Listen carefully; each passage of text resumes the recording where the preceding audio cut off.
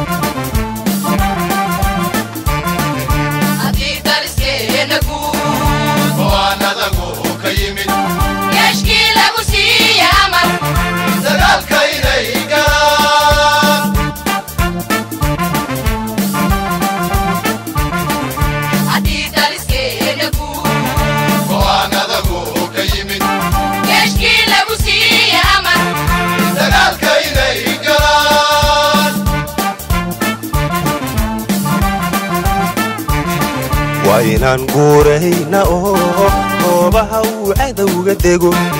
Durbaba gaaf jitayna oo dhisana gumuc iyo rasaas gisiin aan uga dhignaa.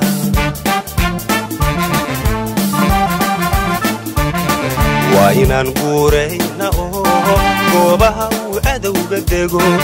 Durbaba gaaf jitayna oo dhisana gumuc iyo rasaas gisiin aan uga dhignaa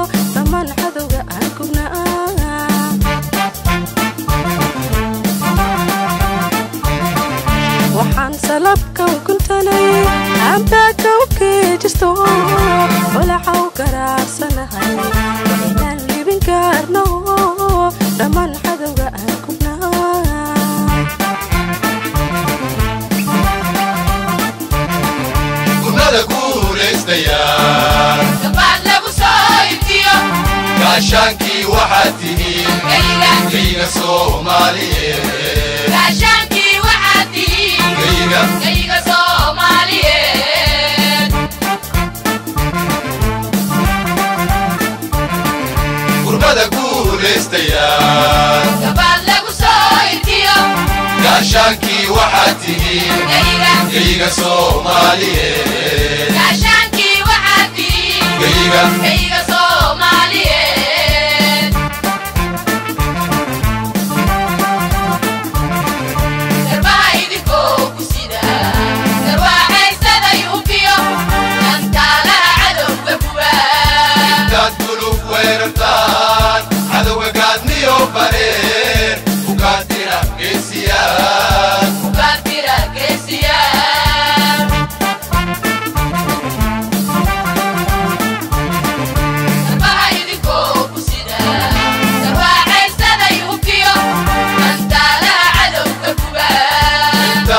fuera.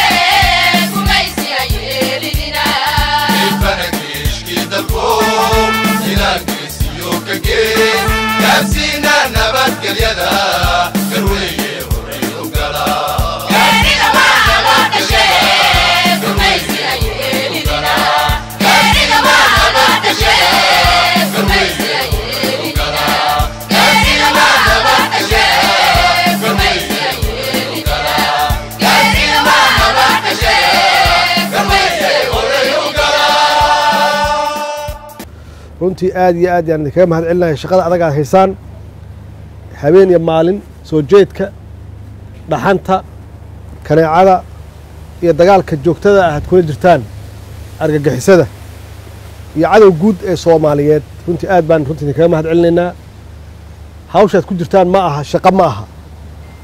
Waa waajibaad wata naftiina inaad hurtaan oo naftiina aad u hibaysaan. Difaaca ummaddiinna dalkiinna dowladnimadiinna. Marka runtii aad baan runtii idinkaga mahad celinaynaa idinkugu hambalyaynaynaa shaqada wanaagsan aad ummadda u haysaan. La'aantiin dowlad ma jiri karto qaranna ma jiri karo. Dal wuxuu ku dhisan yahay xooggiis ciidankiisu ku dhisan yahay dal. Dal aan ciidan lahayn dal ma noqdo dowladna ma noqdo.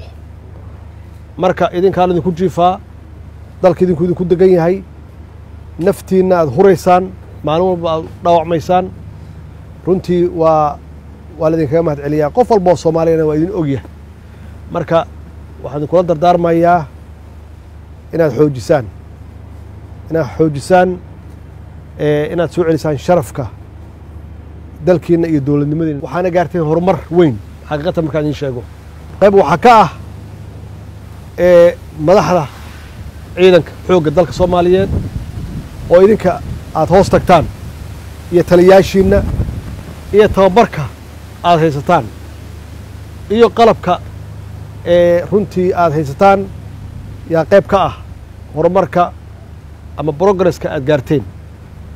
Ee fare kama qodna waxaan rajaynaynaa inaan xoojinno oo aan soo celinno haybaddii ciidanka soomaaliyeed ee ku lahaayeen caalamka oo loo yaqaanay inay ahaayeen ciidanka ugu xoogga badan ciidanka ugu tayada badan ciidanka ugu qalabka wanaagsan qaybaha kala duwano oo maxaan ku raahdaa laga rabo ciidan. Hadday tahay ciidan bad maraakiibtii iyo doomankii ay lahaayeen hadday tahay ciidan cir